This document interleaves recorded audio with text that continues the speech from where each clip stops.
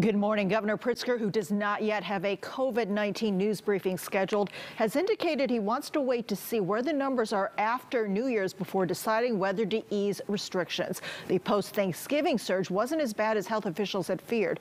The metrics, including the positivity rate and number of people in the hospital, are on the decline.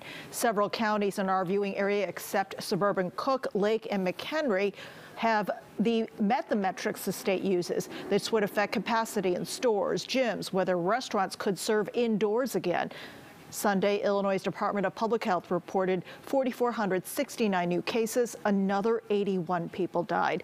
The state is attempting to ramp up its vaccinations of frontline healthcare workers and residents of long-term care facilities. The vaccine distribution, though, has gotten off to a slow, chaotic start.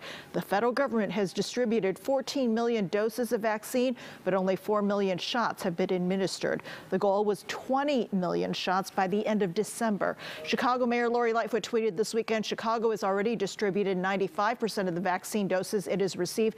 However, at the current rate of allocation, it would take 71 weeks nearly a year and a half to fully vaccinate the entire city. We need more vaccine now. Dr. Anthony Fauci says the pace is picking up. He says a half million people have received the vaccine each day in the last three days, offering a glimmer of hope. We are not where we want to be, no doubt about that. But I think we can get there if we really accelerate, get some momentum going, and see what happens as we get into the first couple of weeks of January. Illinois has received 400,000 doses of vaccine. About 170,000 shots have been given. In the newsroom, Judy Wang, WGN News.